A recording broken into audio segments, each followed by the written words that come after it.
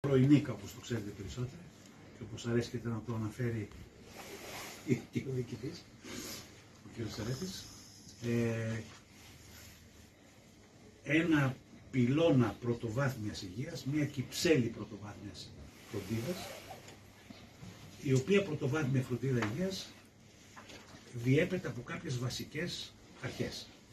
Η παροχή υπηρεσιών υγείας κυρίως όταν δεν απαιτείται ανάγκη εισαγωγής σε νοσηλευτικό ίδρυμα, εκτίμηση αναγκών υγείας του πληθυσμού με προγραμματισμό από προσωπικό οικογενειακό γιατρό, ένα δίκτυο ολοκληρωμένης φροντίδας ασθενών με χρόνια νοσήματα, ζητήματα που άπτονται του οικογενειακού προγραμματισμού σχετικά με υπηρεσίες μητέρας και παιδιού, υλοποίηση προγραμμάτων εμβολιασμού, παραπομπή, παρακολούθηση ή και συνδιαχείριση περιστατικών με τη δεύτερο βάθμιο και την τριτοβάθμιο ε, φροντίδα.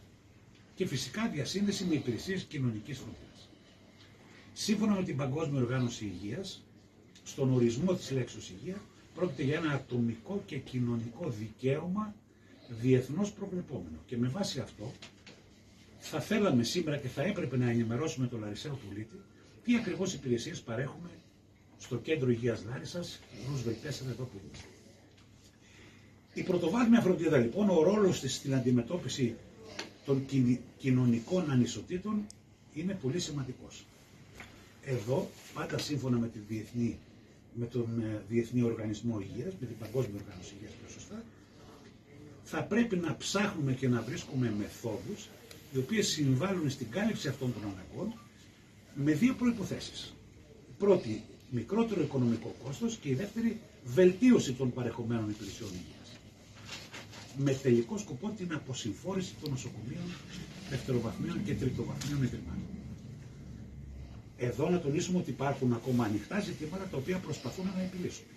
Αφορούν τη διάγνωση και αντιμετώπιση, την κατάλληλη διακομιδή και παραπομπή των ασθενών μας, την πρόληψη και την κατοίκον νοσηλεία. Όλα αυτά στόχο έχουν εν τέλει να ε, προσδώσουν μια δημόσια υγεία υψηλού επίπεδου βρισκόμαστε στη χώρα μας σε μια φάση σταδιακής ένταξης ηλεκτρονικών υπηρεσιών, e-health, στην πρωτοβάθμια φροντίδα υγείας. Δηλαδή, πρώτον, αξιοποίηση σύγχρονων τεχνολογιών στην πληροφορική και τηλεπικοινωνιών.